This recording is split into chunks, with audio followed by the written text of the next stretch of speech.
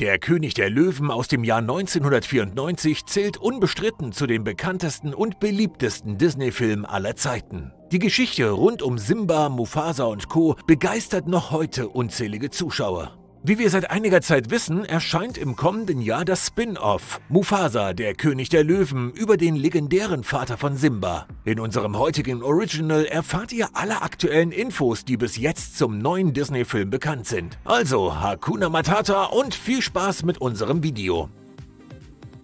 Disney kann in den letzten Jahren auf einige Erfolge im Bereich der Live-Action-Remakes zurückblicken. Mit am beliebtesten ist der König der Löwen Realfilm aus dem Jahr 2019, in dem man von dem kultigen Animationsstil Abstand nahm und den Zuschauern stattdessen eine neue, modernere Optik präsentierte. Aus den bisher bekannten Infos zu Mufasa lassen sich bereits einige Schlüsse zum neuen Film ziehen. So wird es sich bei der Realverfilmung um ein Prequel handeln, das das frühere Leben von Mufasa im Umfeld des Königsfelsen behandelt. Dabei wird die Beziehung zwischen ihm und seinem später verfeindeten Bruder Scar eine große Rolle einnehmen und man wird erfahren, wie die beiden zu Erzrivalen wurden. Was aus einem Bericht von Screen Rant im April 2023 hervorgeht, wird Scar im Film zwei Seiten haben. Auf der einen Seite ist er der süßeste Löwe und auf der anderen Seite wird man seine äußerst gerissene Art kennenlernen. Inhaltlich werden sich die Verantwortlichen wohl mehr oder weniger an der Buchvorlage orientieren, die ebenfalls wie der Originalfilm 1994 erschienen ist und den Titel A Tale of Two Brothers trägt. Das 61-seitige Buch erzählt die Geschichte von Mufasa und Scar, als sie noch junge Prinzen waren und wie Scar an seine namensgebende Narbe kam.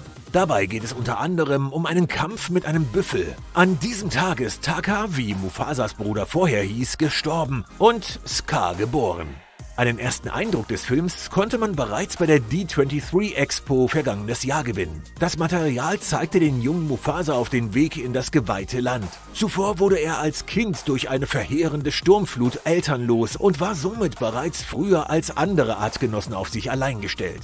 Ebenso viel Screentime wird sein Bruder Scar bekommen, der als Kind deutlich vernachlässigt wurde, wie Scars Synchronsprecher Calvin Harrison Jr. bestätigte. Wie wir aus vergangenen Aussagen von Regisseur Barry Jenkins wissen, hat der Film größere Ambitionen als nur ein Prequel zu sein. Man wird beispielsweise nicht nur die Vorgeschichte erzählen, sondern auch viele Szenen aus der späteren Handlung von Der König der Löwen aufgreifen.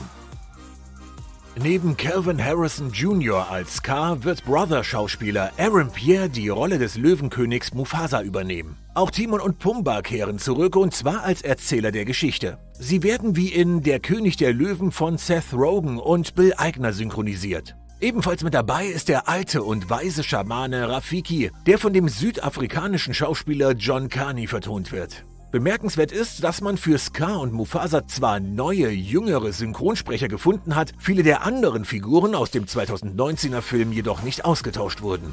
Das untermalt die Aussagen von Regisseur Barry Jenkins, dass Mufasa, der König der Löwen, kein reines Prequel sei.